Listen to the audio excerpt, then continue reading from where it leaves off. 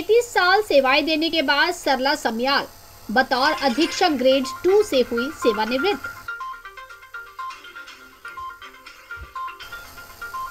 तैतीस साल की सेवाएँ देने के उपरांत आज बतौर अधीक्षक ग्रेड टू के पद से हिमाचल लोक निर्माण विभाग, फतेहपुर से सेवानिवृत्त हुई है।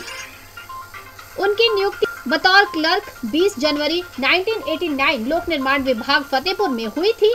पदोन्नति के उपरांत वे फिर इसी कार्यालय फतेहपुर में बतौर अधीक्षक ग्रेड टू में करीब दो साल सेवाएँ देने के उपरांत आज सेवानिवृत्त हुई हैं। कर्मचारी, आप सबको पता है कि हम आज यहाँ पर सरला देवी जी जो सुप्रिटेंडेंट ग्रेड टू के पद से रिटायर हो रहे हैं, उनके रिटायरमेंट के समारोह के उपलक्ष्य में हम लोग इकट्ठे हुए हैं अभी कुछ देर पहले ही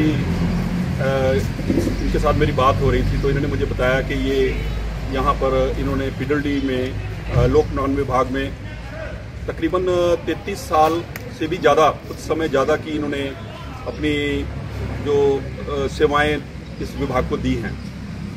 तो ये एक बहुत लंबा एक समय है जो कि ये इन्होंने इसमें व्यतीत किया और इसमें से इनका ज़्यादा से ज़्यादा समय जो है वो फतेहपुर में ही इन्होंने लगाया। कुछ समय के लिए ये ज्वाली आसपास में रहे। तो मैं न, मेरा मैं भी 99 में जब आया तब फतेहपुर में आया तब मेरा परिचय सरला जी के साथ हुआ था।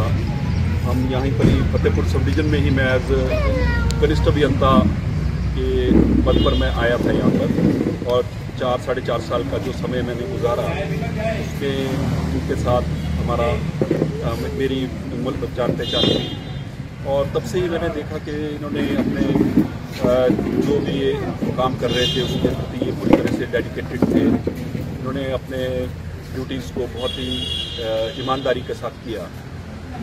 मेरी अपनी ऐसी सोच है हम पता नहीं भगवान की किसी अ, इच्छा की वजह से अ, हम लोगों को साथ में कहीं पर सभी अलग अलग जो हमारे कर्मचारी हैं, उनको काम करने का मौका मिलता है। काम करने का मौका मिलता है और साथ में देश और अपने प्रदेश की सेवा करने का भी मौका मिलता है। तो ये एक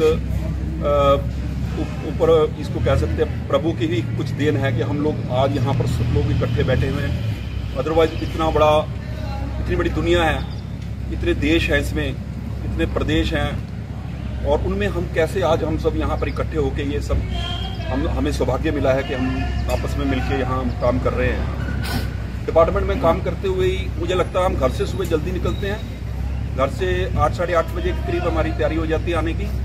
और घरों में ही कई, अब मैं अपने बारे में बताता हूँ तो मैं आठ बजे तक ही घर पहुँचता हूँ। और शायद सुबह साढ़े आठ बजे निकल आता हूँ। कर्मचारी।